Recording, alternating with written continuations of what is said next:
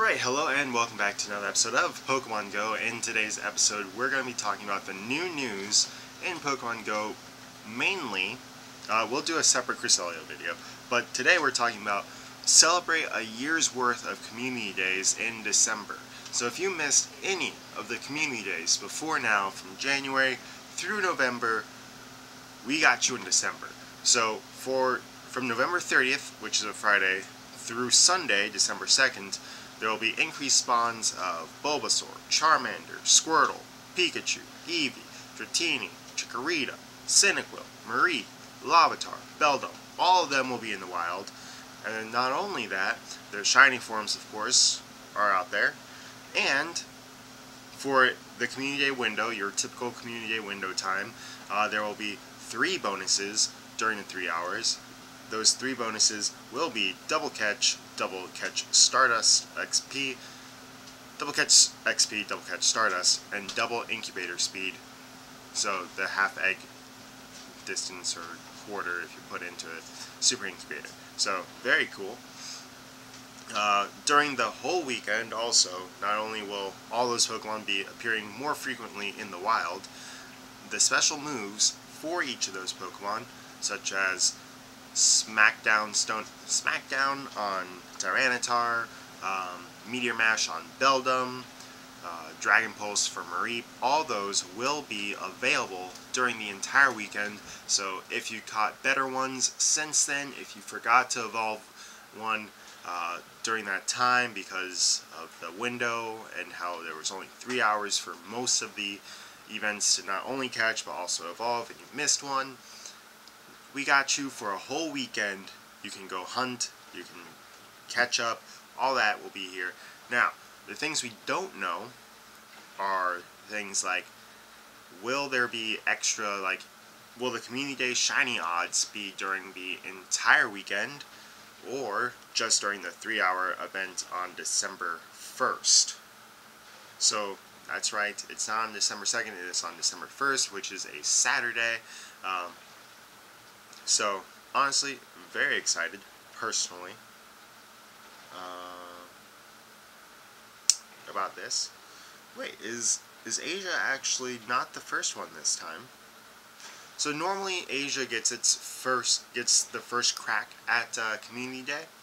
Today, this time they're not. They're actually getting theirs December second, which is interesting. Maybe to uh, put less strain on the servers, or just because generally for some reason it, the first Community Day, like first wave, generally gets messed up. Generally, it's in Asia.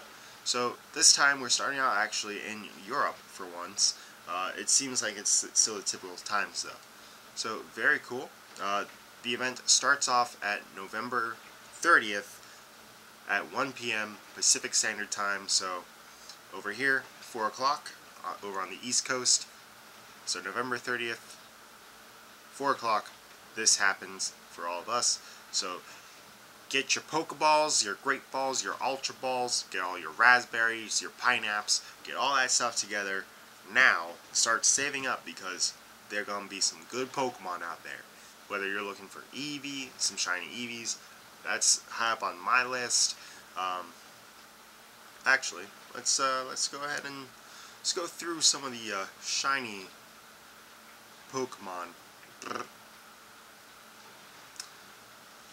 Let's go through way back, way back. Let's let's go back to the very first one, Surf Chew. So, Pikachu was Surf. I was only ever able to get one of these. During the entire event, I got one.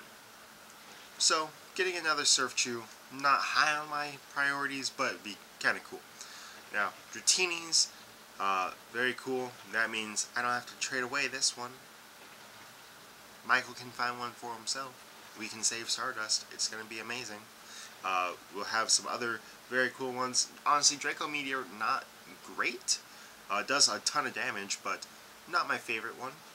Uh, so, maybe not Evolve one, but Shiny Dratini, Shiny Dragonair are very cool. Very cool shinies. And then, of course, uh, this green Dragonite is uh, interesting. Interesting color choice there. Bulbasaur, which I did really good on. I think I actually traded away one Bulbasaur. Um, Mareep, I traded one to John. Uh, so I'm looking for at least one more Mareep to take it back. Now this is one that I found full odds of Bulbasaur. Full odds Bulbasaur that I could evolve to get Frenzy Plant because it's actually not that bad as terms in CP go. Uh, I still have a ton of Charmanders.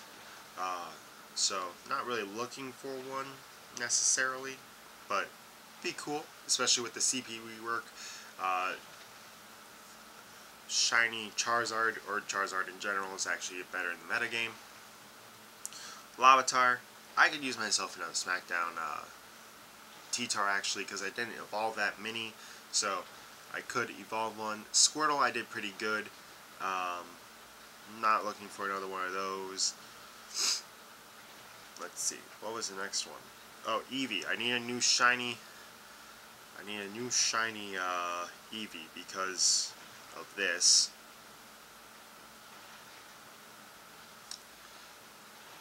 Chikorita. I wouldn't mind getting another crack at Chikorita. I did pretty bad that day. Not, uh, you know, I was able to get one of each form, but, uh, oh hey, with the CP rework, one of my 10 CP ones turned into an 11 CP. Thank you, Niantic. Uh, Metagross, Beldum was actually really good. Uh, did fairly good. That was actually, I think this is actually the first day that uh, they implemented the extra hour to evolve was on Chikorita Day. But, uh, did pretty well on Beldum Day. Not complaining about that one. Cyndaquil, the most recent one, I did well. So, very cool. Very cool. Wouldn't mind getting myself another of any of those shinies. Uh, to be honest, there's not one in that whole book that I'd be like, oh, nah, I don't want that. No. And then, like, what I'm saying is, like, Larvitar, right? I got this 98% Larvitar, and I have this 96% Lucky Larvitar. Both of these I can evolve during that time period and get smackdown on them. So, very, very, very cool. But not only that, happy Thanksgiving. It is currently Thanksgiving Day. I'm actually going to work in like half an hour. So this video may not actually come out until later tonight, but I'm extremely excited for today. Thank you so much. I really am very thankful for this whole opportunity. Um, this whole YouTube thing has been crazy. I'm very thankful to all of you who watch the channel, who support the channel. Thank you so much. And as a part of that, um, I woke up early this morning to do this video, and I was gonna go to uh, the Go Hub to just make sure that everything was good, that I did all my research, which I did, but it, we got this surprise 0.129.1 is rolling out, so we're going to do the data mine for that. We have a few things added. So we got A, Power Punch, a new fighting type move which is uh, available to Lucario via leveling in the main series games. Uh, that has been added, so possibly a uh, Lucario Day could be interesting. So, Lucario, nice. A winter event has been noted. Now, this November event, typically there's like things that, uh, like, typically, when we get events, it's, uh, Pokemon with a hat, or something like that. Uh, this, like a costume event. But during this November, uh, for the November 2018 event, it was actually special research. So maybe during this winter event, it'll be special research, or it could be something like last year, um, where we had Delibird and Santa Pikachu. So probably Santa Pikachu is coming back around for December, uh, winter of 2018. Maybe a uh, actual, like a second community day, like an actual one where there's like a new Pokemon released. Could be interesting. Now, Burmy has had some changes to its references in the APK. So, some fix-ups. There's Burmy Plant, Burmy Sandy, Burmy Trash all in there specifically. So we could have Burmy be released in, during the next wave, and it's three different forms. Each of those forms then has an evolution, plus it has a gender-specific evolution uh, as well. So personally excited for Burmy because that's a lot of Pokemon to be caught. Also, geofencing has been added. So geofencing, by definition, uh, is the use of GPS or RFID technology to create a virtual geographic boundary enabling software to trigger a response when a mobile device enters or leaves a particular area. Now, in here, they then go through this, um, go through the different things, and they're like, eh, we don't know what it could be. Maybe it's for event attendance, uh, and then they're like, oh, we hope not. Um, but, personally, I'm thinking this could be PvP. You turn on a fence, a geofence, right? This is strictly hypothetical. Um, you turn on a fence on your phone, right? So you're like, I want a battle. And there's just this ping, right, that goes out. And any trainer that enters that area could then see that and be like, okay, where's this dude at? Let me battle too. And like, you get pinged both places to a gym, or you put this ping on a gym specifically. Maybe you can only do PvP at a gym. Because remember, Niantic did say they wanted to push out PvP. This could be how they do it, via geofencing. You put this geofence around a gym, and then uh, you wait like in a separate lobby, kind of like a raid lobby, but a PvP lobby, right? You go into a gym, you press like a create geofence, or whatever it's going to be called, and it puts out this like ping, sort of like a lure, where you can see it all across the map, but maybe it's like a special kind of cool battle lure, like uh, around a gym. I don't know. Instead of petals, maybe it's like thunder clouds or some cool thing like that. Um, and anyone can travel to that gym and do like a battle for it, like a PvP battle. Maybe this is how they introduce that. Other notable changes are official patchwork notes, uh, such as Facebook friends will be coming in. Uh, they've added Helpshift library, which helps improve customer support and communications. That's a lot of bug fixes. And uh, here are some new screens.